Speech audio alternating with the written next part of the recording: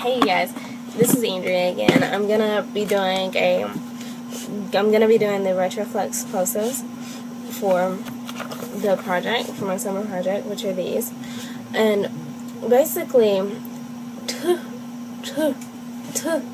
which is the unvoiced, is basically, it's middle, it's a Middle Eastern sound. So you're gonna curl your tongue and put it at the very top of your of your mouth.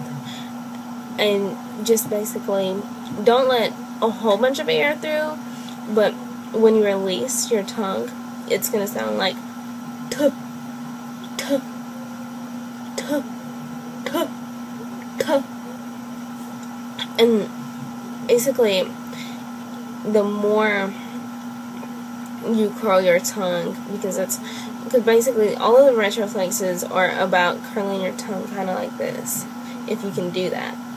And then with the voice part of it you have to when you curl your tongue like this you do duh, duh, and you just basically release the sound that's in your vocal cords and just put a little bit more force to the t t t sound so that it ends up being duh, duh, duh.